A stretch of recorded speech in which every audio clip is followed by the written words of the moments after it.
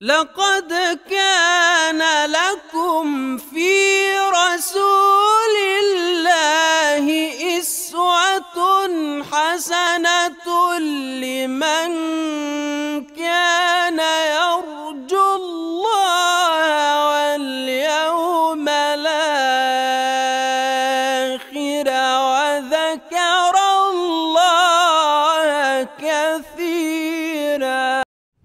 عاشوراء والزكاة.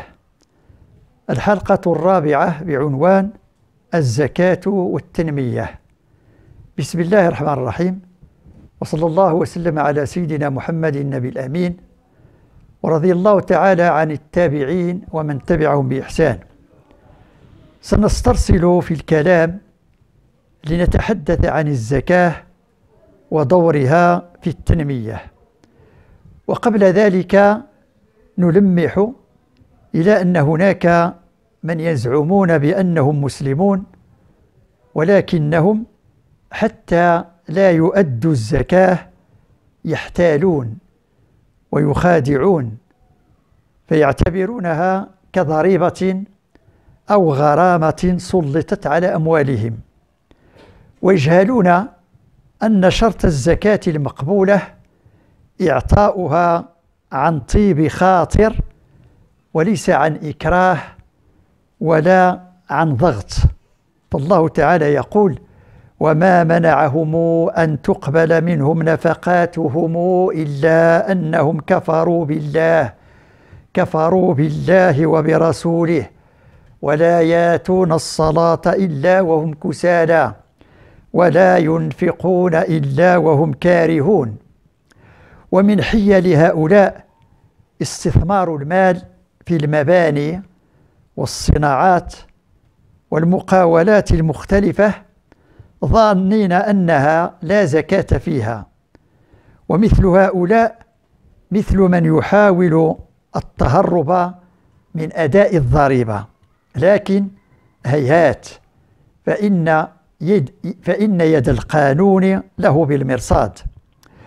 ومن حيل هؤلاء كذلك أن الضريبة عندهم قائمة مقام الزكاة فما يدفعونه من الضريبة يخصمونه من الزكاة. ومن حيلهم وضع الزكاة في غير محلها يعطيها للقريب الذي لا يستحق أو يقدمها بين يديه كهدية تقربا وتملقا وتزلفا لنيل حظوة ما.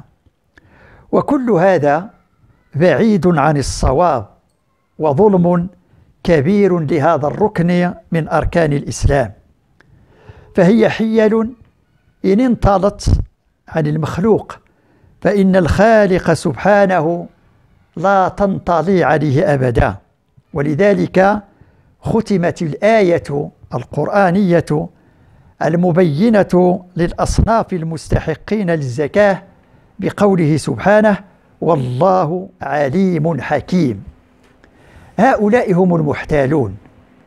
وأما الكثرة الكاثرة فيمنعون الزكاة ويبخلون بها فلا يؤدون منها قليلا ولا كثيرا.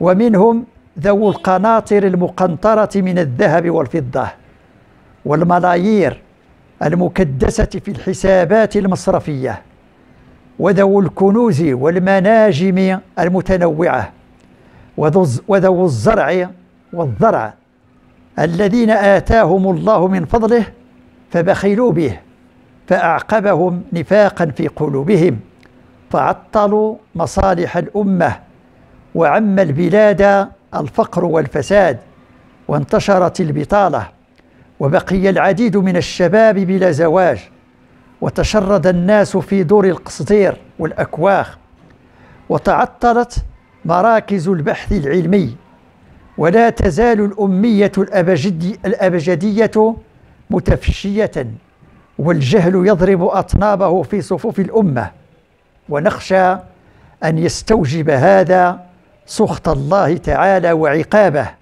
فيكون سببا في الكوارث والجفاف والفساد والظلم والطغيان والأوبئة والأسقام. يقول الحسن البصري رحمه الله لم أرى أشقى بماله من البخيل لأنه في الدنيا يهتم بجمعه وفي الآخرة يحاسب على منعه. غير آمن في الدنيا من همه ولا ناج في الآخرة من إثمه. عيشه في الدنيا عيش الفقراء وحسابه في الآخرة حساب الأغنياء. انتهى كلام الحسن البصري رحمه الله. فالتفريط في إقامة ركن الزكاة تفريط في قناة مهمة من قنوات التنمية بصفة عامة خاصة التنمية البشرية والتي تعني تنمية الإنسان والعمل على ترقيته إلى أحسن مستوى وأفضل وضع وهو ما تعنيه كلمة التزكية بمعنى تحسين وضعية الناس وتنمية قدراتهم اقتصاديا وثقافيا واجتماعيا. وكمثال على أن الزكاة تقوم بهذا الدور نأتي بما ذكر من إحصاء لزكاة الفطر لسنة 1439 للهجرة الموافق ل 2017 ميلادية حيث بلغ قيمتها على الصعيد الوطني واحدا وخمسين مليار سنتيم. فلو وظف هذا المبلغ في مشروع الإسكان وكان ثمن الشقة السكنية الاقتصادية خمسة وعشرين مليون سنتيم. فإن رقم معاملات زكاة الفطر لسنة واحدة هو عشرون ألف شقة. كل شقة لعائلة تتكون من خمسة إلى ستة أفراد. وهذا يعني أن إسكان جميع المواطنين الذين يعيشون الفاقة والحرمان بالمجان عن طريق الزكاة في شقق محترمة لن يتجاوز بضع سنوات. هذا مثال عن زكاة الفطر التي هي صاع واحد. فما بالك بزكاة الأموال والزروع والثمار والحيوانات والصناعات والتجارات وغيرها. ما بالك بزكاة العمارات والفدادين الزراعية والحقول والثروات الأخرى؟ وفي حال تنظيم الزكاة فإن ذلك يحتاج إلى إدارات قائمة تحت إشراف عدد مهم من المتصرفين الذين سماهم القرآن الكريم العاملين عليها.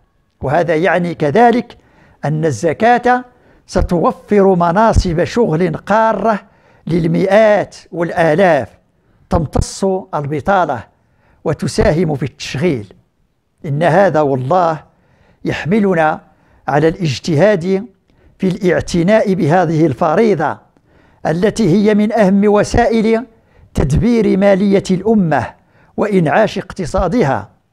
وإن كل من يفكر على هذا النهج القويم سيجده أثرا من آثاره وحسنة من حسناته ثابتا في سجله يوم القيامة. يقول الحسن البصري رحمه الله إن يوم القيامة يوم ذو حسرات وإن من أعظم الحسرات غدا أن ترى مالك في ميزان غيرك. فيا لها من حسرة لا تقال وتوبة لا تنال. يا لها من حسرة لا تقال وتوبة لا تنال. والحمد لله رب العالمين.